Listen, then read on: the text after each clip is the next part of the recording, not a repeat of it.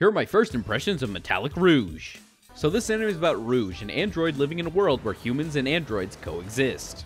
Now something I can say about the show is it has style, with drab noir-esque scenes juxtaposed by the bright city lights. It lends itself to the sense of mystery that things aren't exactly what they appear, which narratively works.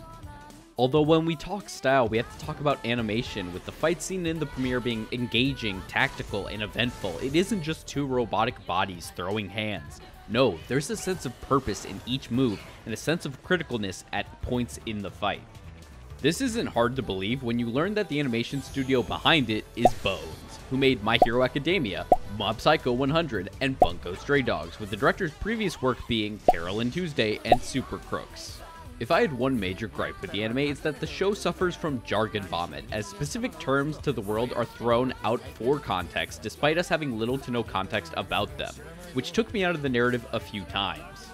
Despite this, the show looks like an amazing cyberpunk noir story with some very cool fight scenes to add a little punch. Thus, Metallic Rouge is an anime I'm definitely watching.